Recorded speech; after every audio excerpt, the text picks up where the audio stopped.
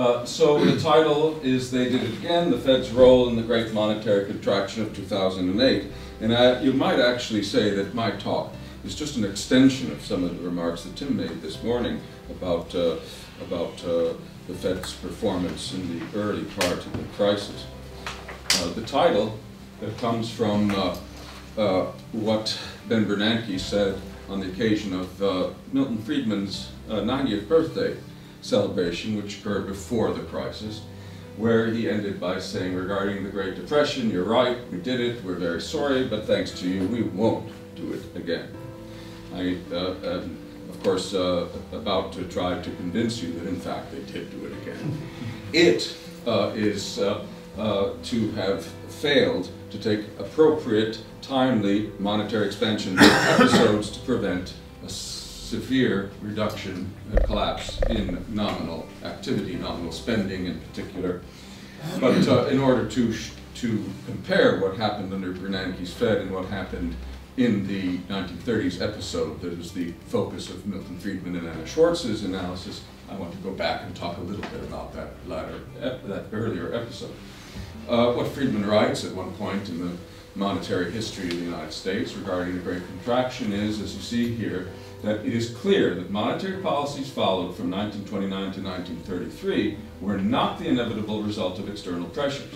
At all times, the system was technically in a position to adopt alternative policies. What alternative policies does he accuse the Fed of having failed to adopt? Specifically, purchases of government securities on a larger scale than what actually took place, which would have reduced the likelihood of the banking crisis. So that's this is the, the uh, 1930s episode. Here you see the, uh, the outcome of this failure, according to uh, uh Friedman and Schwartz, in the uh, substantial decline in both prices and real outputs uh, over the course of the period in question, with a, a, a gradual recovery afterwards.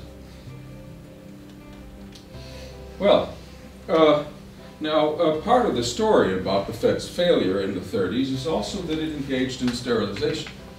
And this chart explains uh, gold is actually accumulating at the Fed during the period of the Great Depression, or Great Contraction, the earlier part. That's that top line. You can see what's happening in gold. But at the bottom are the bills and securities held by the Fed. And although there are seasonal movements in those, uh, the trend there is distinctly downwards. The net result is that the balance sheet of the Fed as a whole, the monetary base therefore, is not expanding. So the, the Fed is offsetting what would have been a gold-based expansion by actually shrinking its balance sheet. And that's what I mean by a sterilization policy. So you have a kind of sterilization going on.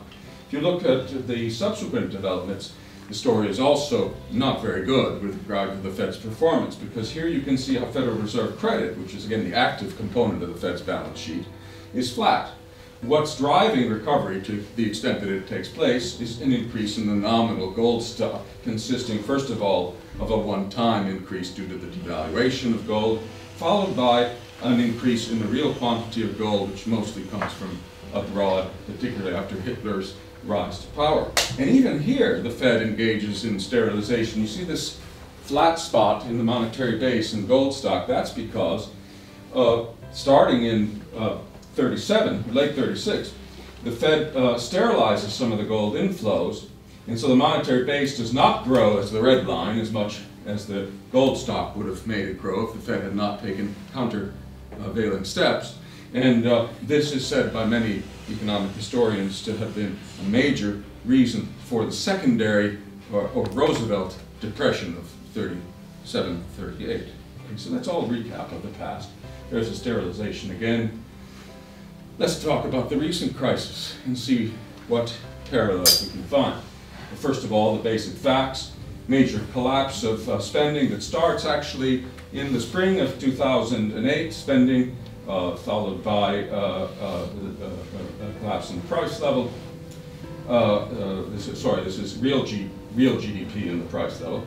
So, well, we know that happened. Here's nominal spending. And again, I want to draw your attention to how nominal spending is, is declining in the beginning of 2008, and it continues to decline uh, throughout the rest of the the year. So this not this does not this collapse in spending, M times V, if you like, is not consequence of the Lehman's disaster. It's been going on long before that. During that whole period until the Lehman's collapse, roughly thereabouts, the balance sheet of the Fed is flat. There's no general expansion of uh, the Fed's balance sheet and the monetary base. That's despite all kinds of emergency lending going on during the period shown on this chart. Uh, and it's because the Fed is sterilizing all of its emergency loans. That is, it's getting rid of Treasury securities that have dominated its balance sheet to make up for the uh, increase in its other assets related mainly to emergency lending. Uh, uh, that's another way of saying that it's engaging in negative open market operations to compensate its emergency lending program.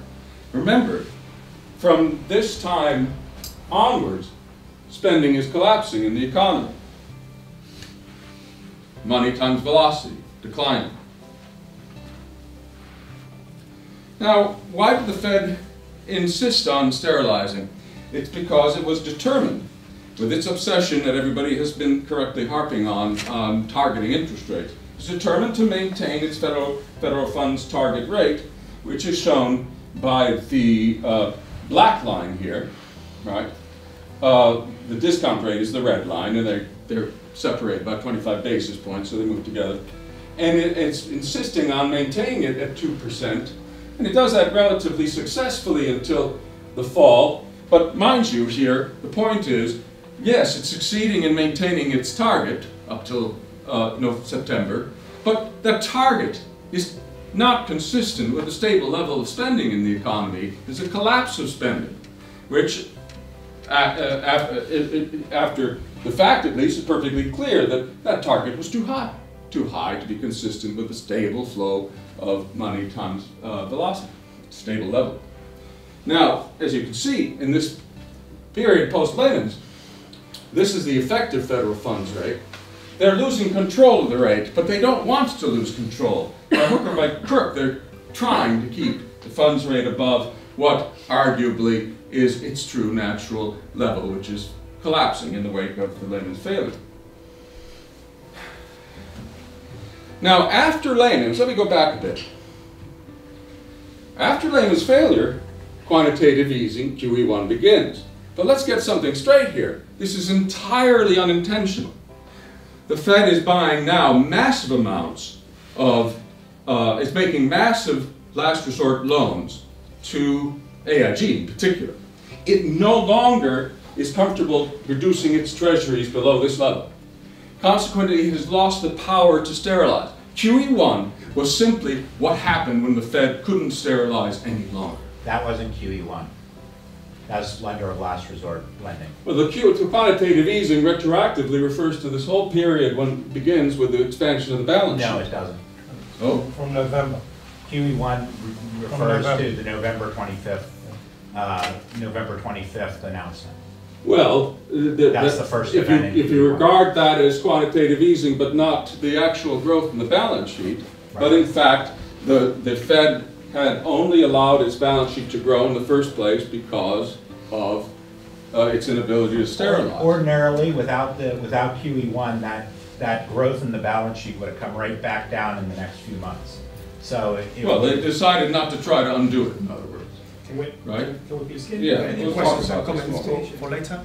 The point is that the expansion of the Fed's balance sheet begins as a result of the fact that it's unable and unwilling to sterilize the expansion of its uh, last resort loans, and afterwards it becomes a deliberate conscientious policy. However, even then, but before then, the Fed had instituted interest payments on reserves. And this is because it couldn't sterilize, and since they were still determined in October 2008 to try to maintain their federal funds target, which was too high, they resorted, uh, uh, uh, they resorted to interest on reserves as a way to prevent the balance sheet expansion from spilling over into the federal funds market and into other loan markets uh, uh, afterwards. This is admitted by Bernanke and by many other sources. So it was a deliberate Fed policy, you can read the quote yourself, to make sure that once its balance sheet is growing, although it, uh, uh, uh like I said, initially it's allowed it, it, it allows it to grow only because it can't sterilize, it tries to offset the effect of that sterilization with interest payments on reserves, the express purpose of which is to keep banks from turning around and lending the extra base money in the federal funds market where it will uh, tend to depress the federal funds rate below the Fed's, uh, the target that the Fed is still attempting to achieve. It was only after the fact that the Fed decided to treat interest on reserves as being the control variable for monetary policy. So what's happening here, introduce interest rates on reserves, like that little dashed line right there, eventually settles at 25 basis points, where it remains until December 2015, right? Uh, when they first instituted, it it's a way of trying to maintain this unchanged target of, uh, well, that's finally been dropped down to, uh, by then, to 1%.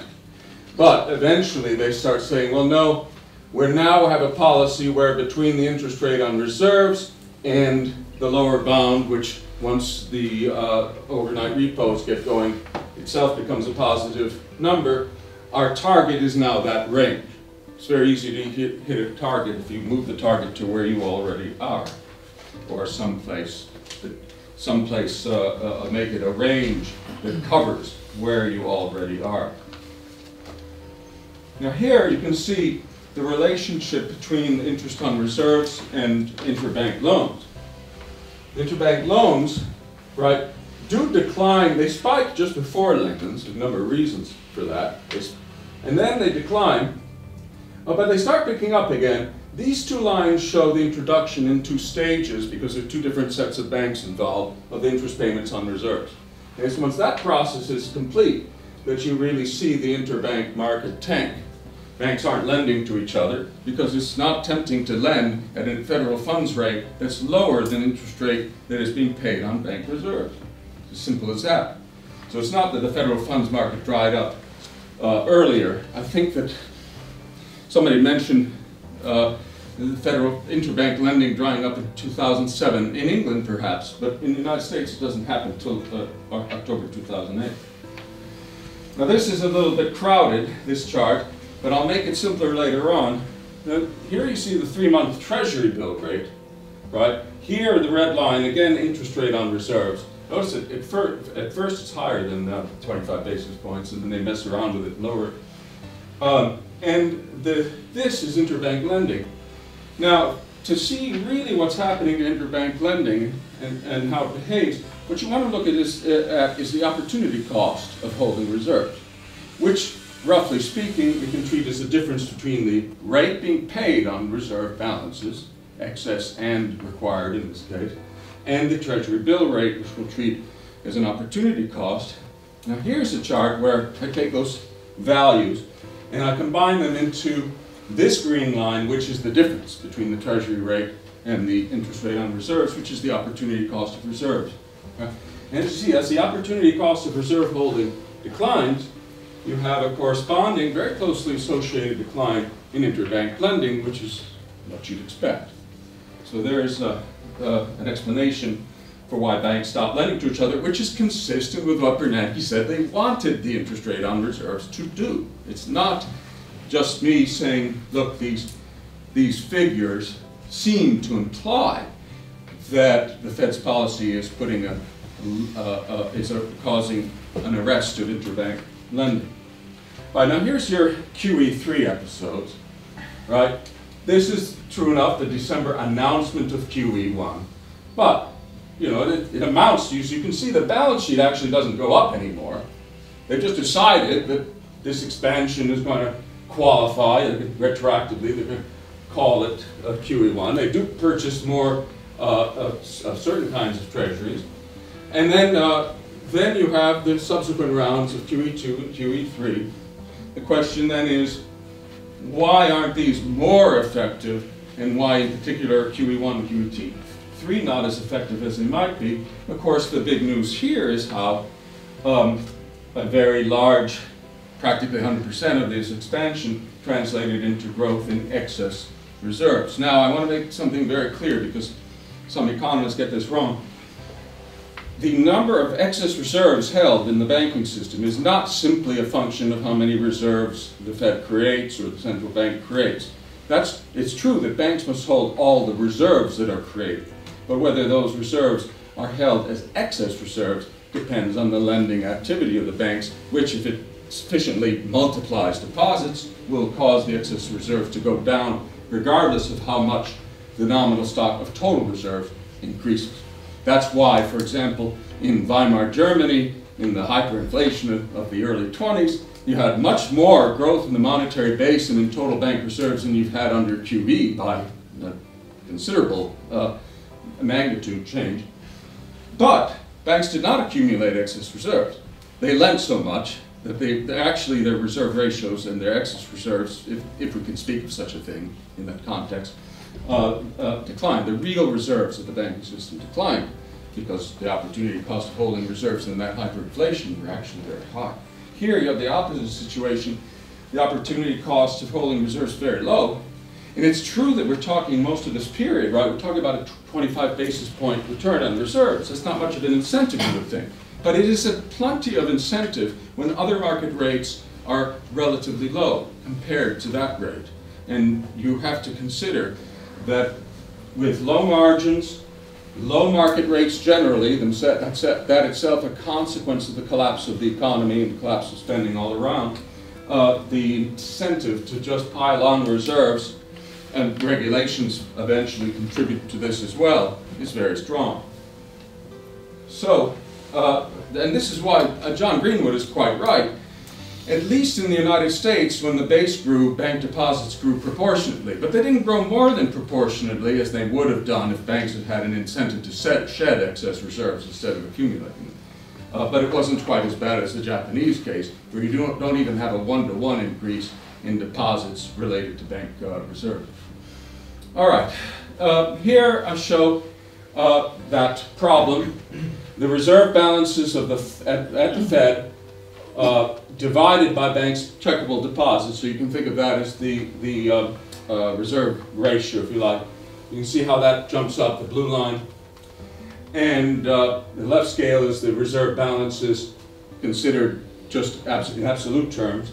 And finally, the red line is what's happening to total checkable deposits, or narrow money in this case. And as you can see, it's, it's quite flat. And by the way, the analogy here with the 1930s is with the policy also said to have contributed to the 1937-38 contraction within the Great Depression uh, of increasing banks' reserve requirements. It's controversial among economists just how contractionary that was, but it was, it's generally regarded as contractionary. In that case, you're raising the minimum reserve ratios imposed on banks. In this case, you're simply making it more inviting for them to sit on reserves and voluntarily, as it were, hold high reserve ratios. You're not forcing them legally to maintain these legal minimums. Um, right, and here you can also see the two lines. This is Lehman's. These two lines are interest on reserves. And the real jump in the uh, reserve ratio is following the uh, introduction of interest in reserves. One more uh, chart uh, showing here I have a single line because of the scale, but that's roughly where interest on reserves is introduced. Lehman's failure is a little bit before that. And here you can see that there's also some consequence, apparent consequence, because this is just correlation, of course, uh, with uh, the commercial and industrial lending cease to increase and then start to decline. Treasury and agency securities are pretty flat and here again you have the reserve balances and the interbank loans. Now Walter Bagehot, of course, in Lombard Street famously argued that the task of a central bank is to provide liquidity to the general marketplace, right? To keep markets liquid, to lend freely at high rates. Bagehot was not talking about bailing out failing institutions and targeting specific institutions. He was talking about widespread lending. It had to be lending in those days because there was no equivalent to open market operations at the time in England. But it was meant to be widespread lending to keep solvent firms liquid. what the Fed did during this first crucial phase of the Great Recession was to target support to specific institutions and take liquidity away from the solvent general market, which is turning the classical last resort lending rule precisely on its head. And in that sense, it could not have done a worse job dealing with that stage of the crisis. So I, personally think that uh, that when uh, I personally hope that when the the uh, seminal history of this episode is written, and I hope it will be someday, and I hope it won't be 30 years or 40 years from now, that that history will tell a much different story about Bernanke's Fed and how it conducted itself during the crucial early phases of the Great Recession. And it will be a story that is a lot more like the story about what the Fed did during the Great Contraction than the stories we typically end there.